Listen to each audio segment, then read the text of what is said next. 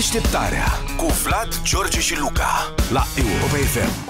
Am mai vorbit despre salarii uh, mai devreme, înțeleg că mai și cresc acum. Da, avem și vești bune, ne place foarte mult să vă mai dăm și vești bune, că atâtea necazuri pe capul nostru, e bine să ne bucurăm pentru bucuria altora. La primăria din Pitești, de exemplu, au crescut salariile, pentru că, de ce nu?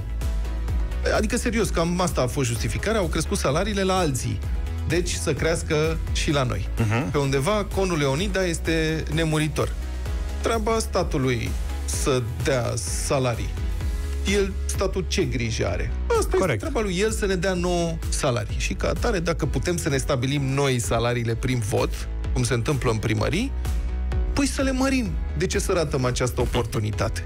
Prin votul solidar al consilierilor PNL și PSD, aici la Pitești au fost aprobate creșteri de până la 20% ale salariilor, între 5 și 20%. Hai. Dar nu știu de ce nu au votat mai mult. Decent, adică... Da. De pildă, salariul unui șef de birou crește de la 8160 de lei brut la 9140 de lei.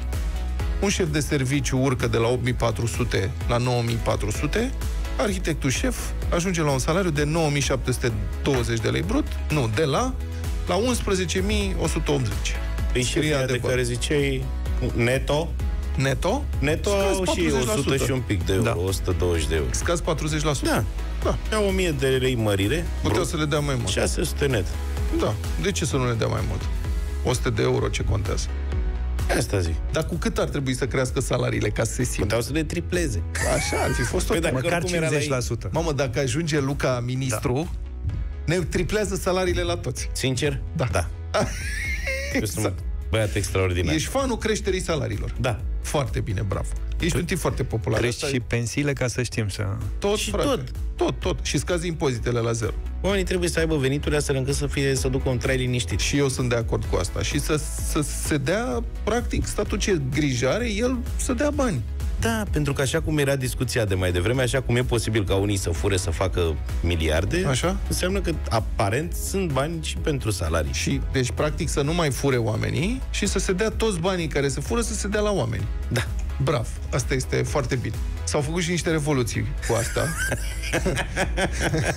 Dar cum facem? Principiu. Cum facem să ajungem cum la facem, asta? frate? Punem mâna pe tiparnița de bani și dăm Mă bani. votați pe mine. Da. Pe urmă, nu pot să vă spun toate secretele. da, că pe urmă, care mai ești michiria? Acest mic Ugo Chavez. Deci eu pregătesc fa- lansarea într-o carieră politică azi. Da. Ce dată e? 2 iulie da. 2021. Reține ziua asta. Când o să vorbim peste 10 ani, o să ziceți, bă, comunistul ăla de, de caga. Socialistul, socialistul. Socialistul. dai, și, dai și mici cu discount? Mici adică vor ce alte, la discreție. Da, ce alte, nu știu, privilegii o să avem dacă te votăm? Privilegii de-astea, meci, bere... Da, să fie bani și munca să fie mai puțină. Cât mai puțină muncă și un trai cât mai liniștit, dar în limite decente. Deci nu... Ce înseamnă decent? Adică nu să vrei, nu știu ce Care ar fi de un salariu lume. decent acum? Nu știu să vă spun. A, păi un cum? salariu decent da. acum? 4-5 mii de, de lei. euro. De lei. A, de lei? Da. Deci decent. 1000 de euro. Minimum. Minimum pe economie l-aș face 2500. De lei? Da. Nu, în București e puțin 2500. Trebuie Minimum. mai mare. Minimum pe economie, da. da. Mult mai mult. Păi dar nu se poate trăi. Nu te alege nimeni așa. de lei, nu, nu e treabă. Eu credeam că o să fie ca lumea. Păi credeam că faci treabă. O să susțin și viața de cuplu ca să fie 5.000 de lei. Știi ce zic? Păi cuplu Minimum. e consum dublu. Să revenim la Pitești. Deci de ce aceste măriri? Iată ce spune edilul șef al Piteștiului, citez, nu s-a făcut altceva, îmi place impersonalul, s-a făcut. Voi ați făcut, nu am făcut, da? Nu s-a făcut altceva decât să se corecteze diferențele față de alte primării de același rang cu noi. Deci oamenii au fost, domne, dacă alții plătesc mai mult, noi de ce să plătim mai puțin? Să plătim și noi mai mult și cred că e de așteptat acum răspunsul celorlalte primării de același rang, care probabil nu vor suporta gândul că au fost ajunse din urmă la salarii. Dar cred că aici sunt... Și vor mări și dânsele. Cifrele sunt publice, nu? Fiind administrații da. locale. Da. Și probabil se uită și ei pe un clasament pe acolo. Păi da. Pa, pa, pa, păi ia să mai... vedem cum ai la Vâlcea. Noi suntem mai proști? Noi de ce nu avem salarii mari ca... Iașu. Iașu. Să avem și noi la fel ca ei. Dar legătura cu bugetul, E, legătura cu bugetul. Să noi să fim cală. La Pitești, 70% din bugetul primăriei se duce doar pe salarii și pe cheltuielile curente de funcționare.